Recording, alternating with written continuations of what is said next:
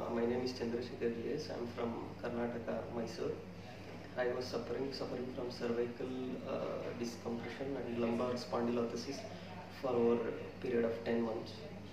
And I went through a lot of treatment like physiotherapy, yoga therapy, and I went consulted uh, neurology, neuro specialists as well. But uh, the problem got persisted for a very long.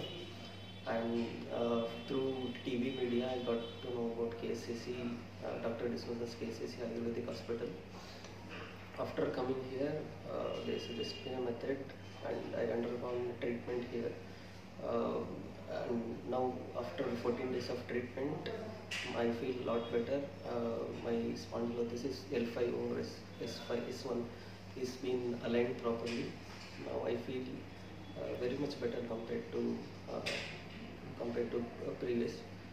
Um, I during the treatment, it's very important to uh, uh, have uh, to follow the procedure suggested by doctor, like wearing belt, lumbar belt, and cervical belt. So I suggest strongly suggest patients to not to go for surgical and go for Ayurvedic treatment, especially KSAC Hyderabad. Uh, they have very good facility here. Uh, staffs are uh, very supportive. Um, I sincerely suggest patients to uh, go to the KCC hospital if they have any back related or cervical related problem. Thank you.